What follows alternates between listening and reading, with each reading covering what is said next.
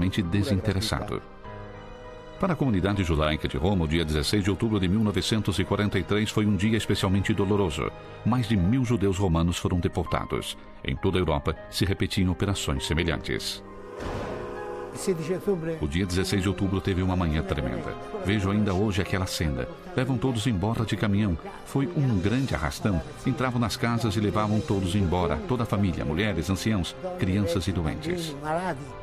As autoridades alemãs haviam prometido respeitá-los em troca da entrega de 50 quilos de ouro. Num grande gesto de solidariedade, toda a cidade colaborou para obter a quantidade necessária. Chiedono 50 quilos de ouro. Pedem 50 quilos de ouro à comunidade judaica. Porém, era impossível reunir 50 quilos de ouro nas poucas horas que tínhamos.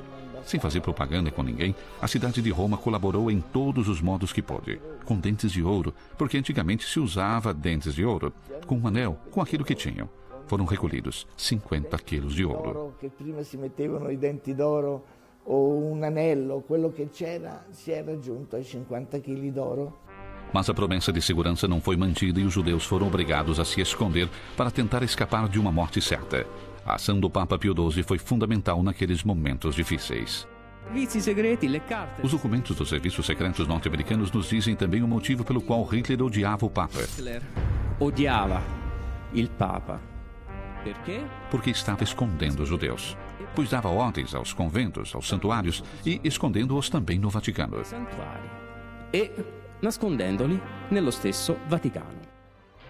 Aqui em Roma, abriram as portas todos os conventos. O Vaticano estava cheio. Tinha gente que dormia até nos corredores. Esse sou eu. Eu sou Cláudio de la Sera. Nasci no dia 31 de julho de 1931. Sou de religião hebraica Fui salvado no tempo dos alemães pelos frades maristas do Colégio de São Leão Magno.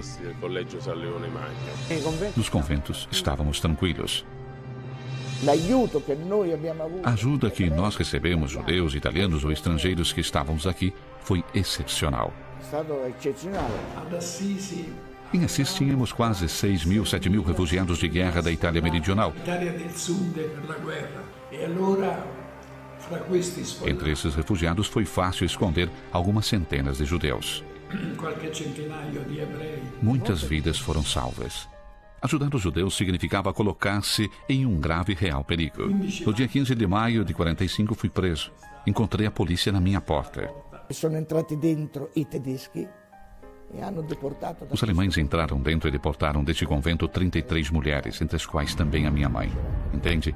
A Madre Superiora, irmã Esther Busnelli, foi presa porque fez algo que não devia fazer. Esther Busnelli è stata presa perché ha fatto doveva fare. Levaram-me para um campo de concentração em Perúdia. É preciso entender o perigo que existia.